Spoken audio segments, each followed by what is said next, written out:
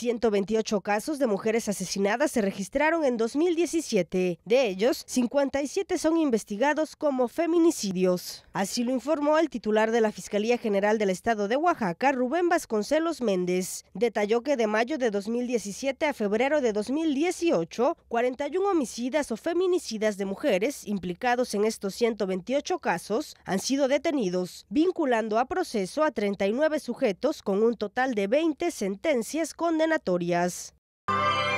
Puedo anunciar hoy que en estos 9, 10 meses, eh, últimos 10 meses, hemos detenido o aprendido a 41 homicidas o feminicidas de mujeres, hemos vinculado a proceso a 39 sujetos y hemos obtenido 20 sentencias condenatorias. Es decir, la Fiscalía está volcada en el cometido principal que tiene, que es la resolución de casos.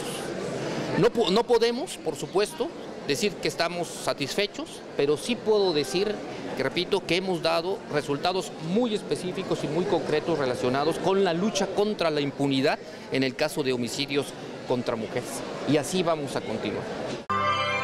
El fiscal señaló que cualquier muerte de una mujer que implique violencia se investiga por protocolo como feminicidio, inclusive un suicidio para descartar este tipo penal. De los 128 mujeres víctimas del año pasado, 57 nosotros eh, estamos persiguiendo como feminicidios. ¿Por qué? Porque hay, como ustedes saben, en el Código Penal ciertas razones que se denominan razones de género por las cuales se motiva el inicio de una investigación por feminicidio. Ahora bien, y también lo he dicho en otras ocasiones, esto no quiere decir que no utilicemos el protocolo de feminicidios en todos los casos de muerte violenta contra mujeres, e incluidos todos los tipos que les acabo de comentar, incluidos, por ejemplo, suicidios.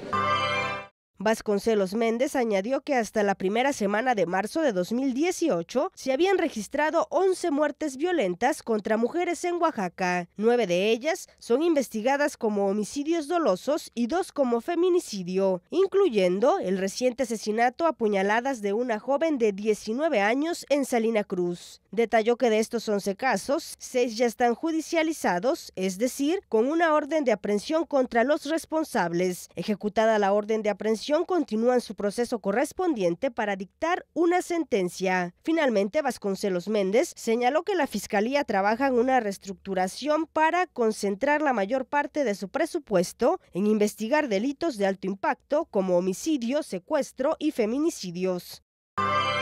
La Fiscalía eh, está haciendo en este momento una reestructuración, una reingeniería en todos los temas, incluso el financiero, para concentrar nuestros recursos en la solución de los delitos graves. Yo creo que a todos nos interesa que los homicidios, los feminicidios, los secuestros, estos delitos que más nos afectan, sean resueltos.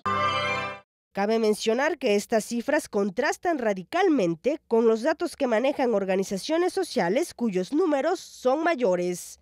Con imágenes de Pablo Cruz e información de Francisco Márquez, MBM Televisión.